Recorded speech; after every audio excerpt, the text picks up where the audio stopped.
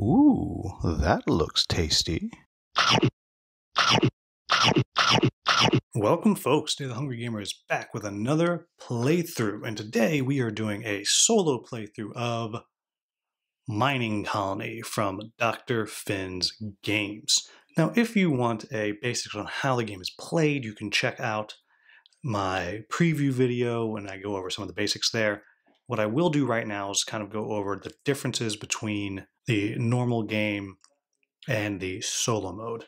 In the solo mode, you are still going to set up for two players the exact same amount of resources, and everything's going to be the same for you with the following exceptions. When you're bidding with your three cards, the AI will then, after you've chosen your card, will flip a single card.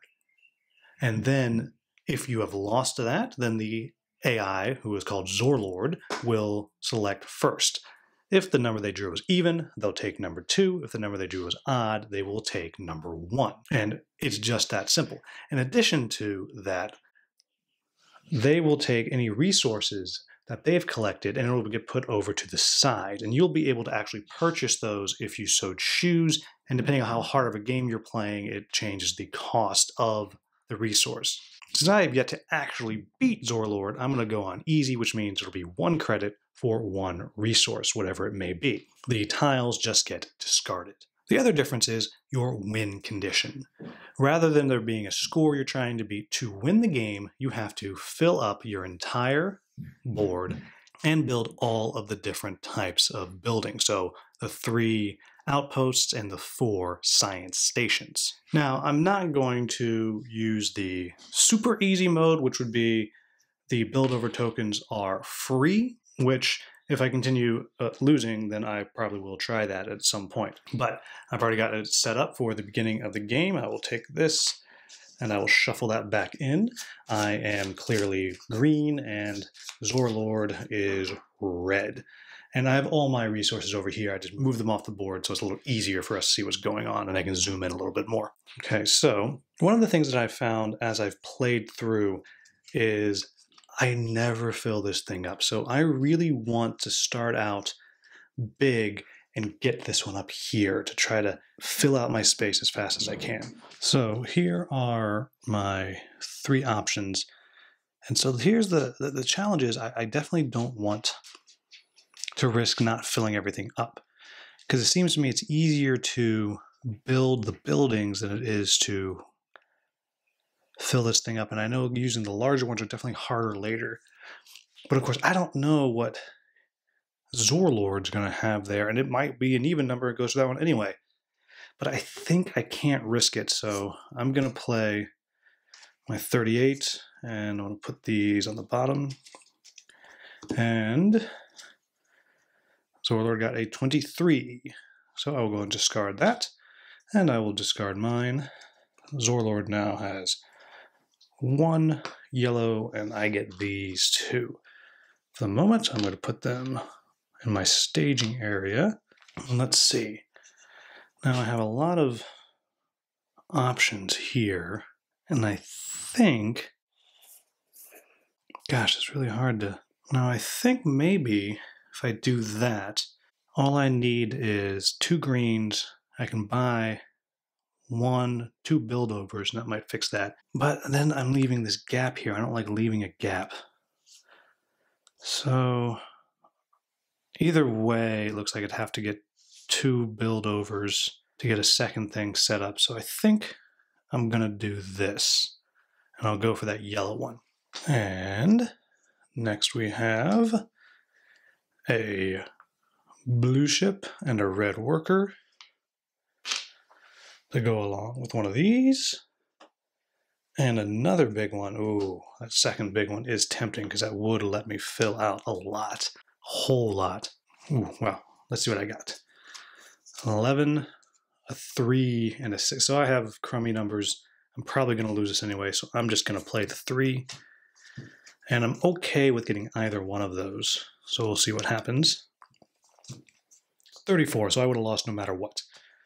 And it's an even number, so it's taking the big one. Just kind of a bummer. I kind of wanted that, but I will live. Okay, so I'm to put this worker here, and I'm to go ahead and sell sell this guy because I don't really have any good use for two blue ships. And unfortunately, this is not particularly helpful to me. So I'm just going to put this there. And again, I'll be doing more building over later. But I'm not going to do that yet. All right, here we go. Now this is a totally different strategy than I've ever attempted before. And I'm hoping that it's going to pay off here for me because I find beating Zorlord to be really hard. So really what I'm doing is my focus here is I'm trying to make sure I fill this up and then worry about filling the gaps later.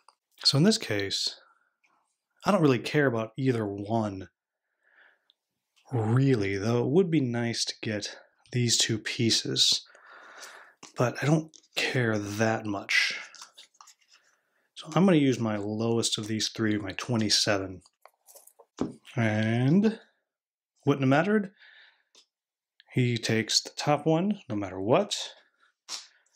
And I get the bottom. So now I'm definitely going to have to use some of my stuff to make this work.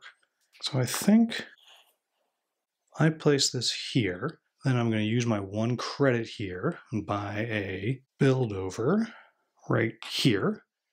And then I will place a ship and worker, which gives me my first outpost. And then I'm just going to hold on here. When I get another credit, I'll be able to do the same thing over there with the blue. Right. Ooh, and another purple. That's good. So I yeah, so I definitely want this top one there. I'm going to go hard for that. This isn't horrible, but I think that big one, I want that purple. Then I'll be able to do a crystal, perhaps. Ooh, 46, 43, and 14. I'm going to go with the 43. Keep these other two. Oh my gosh. Well, I would have lost anyway. So I blew my one of my big ones and it claimed the one that I wanted. So that really is a bummer. That's a real big bummer. But what I can do at least is I can do this, and that will save me a credit that I was going to have to spend on a build over, and that gives me my second outpost. Yeah. And now he has another purple and two yellow, so if I get some credits, I'll be able to pick some of those up. All right, ooh. Well, small space, but some good colors here. All right, so either of these is okay, I think. In some ways, this is almost better because then I can fill in that gap. I don't have to rely on getting a one with a thing sticking out, but let, let's see what I got. All right, so again, I can work with either of these, so I'm going to use my low number and just kind of call that out in my deck. And I'm assuming, oh yeah, 31, way higher. So he's to claim that. And I get all these toys here. This clearly putting right there. And first I'm definitely going to sell that for a credit. I'm going to spend my credit for a build over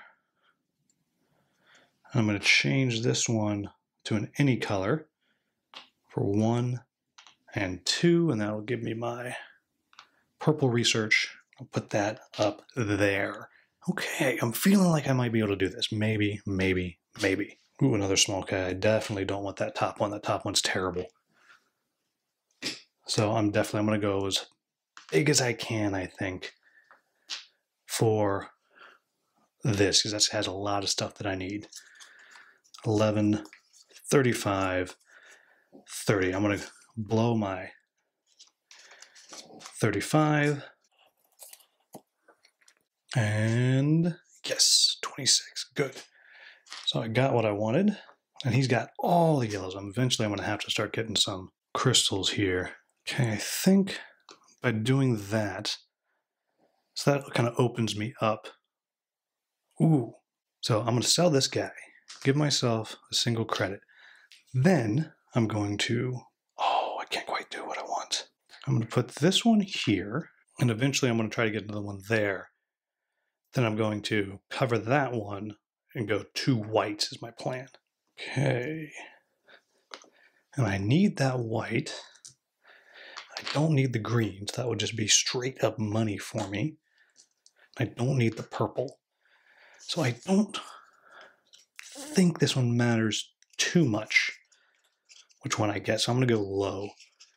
I'm going to play that 14. I'm going to go low, hold on to my higher ones for when I really might need them. Wow, 15. He just barely took it from me. Okay, so I'm immediately going to sell this. I don't have any use for that. Put this here. I think I'm going to do this. I might be putting myself in a bad space to get that black outpost, but I think I'm going to be able to do it if I do it like this. Put that there. Take my second and put it that there. Boom and boom. And if I, oh, if I just get one more credit, yeah, for two credits, I'll be able to place this here, put a build over there, and grab him. Oh, I, I might, I just might be able to do this. Maybe, maybe, maybe, maybe, maybe. I think I need the big one because I'll be able to get a little money from it, fill up a lot of space. Yeah, this is my plan. I, am definitely going to try to just fill up, then use money to fix everything else. Oof, not great. I'm going to use the 30 because I want that big one for sure. And come on, come on, come on, come on. Oh, I could have used any of them. Dang it. And it was a 2, so it would have taken that anyway. But that's okay. I think this is going to work because by placing that there, then I place this here. I need that. I'm going to sell this ship here for one credit, which I'm immediately going to use to buy that crystal. Oh, wait, nope, I need a... No, I don't. There we go. Buy that crystal, which places that. So here we are. Here is the challenge that I have is I need to get very specific. I need two twos and a single is the only way I can do this. The only chance I have, I have to get that one up there. So here we go. I'm going to go with my 46 and 7. So I click this one. He gets that guy. And I'm selling all three of these for three credits. Then I'm going to use one to purchase that for one and two and that research station. Then I'm going to spend another one for that and my third one to buy one of his white crystals. And, and then my last three, I have to get the small one. I'll use my 22 which beats him. Put that there. Put that there. And that is it. Well, so there you have it, folks. So as you see, I ran out of time. I had two spaces left to cover. Say this is the best that I've done. It's definitely a bit of a learning experience here as I now see that, yeah, the, the plan really does have to be filling up your board with developed spaces and then everything else is kind of secondary. It seems like that is the plan if you're going to beat the solo mode. It's interesting. So, wow, that's really tough. It's really tough to kind of figure out what it is that you have to, what purchases you have to make in order to make that work out. But in any event, that is it. That is a solo play on easy, not super easy, but on easy of mining colony. Unfortunately, Zorlord now, I guess, rules all of Mars or wherever it is and has exclusive rights to all the mining. And I'm sure they're going to be horrible and evil. It'll be like the Comcast of interplanetary mining or something like that. And there you have it, folks. That was Mining Colony. Gosh, I really enjoyed that. That was, it really is a fun solo experience, even though I still can't win. And I, I will say, I'm very happy to point out and all the games I've done solo plays for of games that aren't necessarily made as a solo game, I have never won on camera. So I'm very glad that I was able to keep that going, that that streak alive here. In any event, I hope this helps you figure out if you are interested in this game for solo play. As always, if I messed anything up as I went through, please leave me a comment with the timestamp and I'll get that into the Klingon subtitles.